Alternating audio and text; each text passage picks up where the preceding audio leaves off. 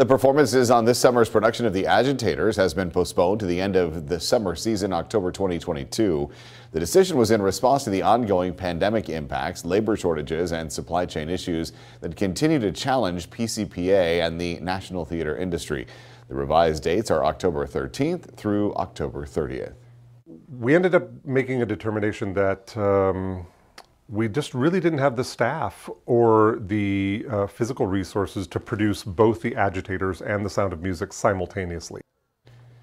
If you held any previous tickets to the June July production and have yet to be contacted by the box office for exchanges, you can reach out to them by phone.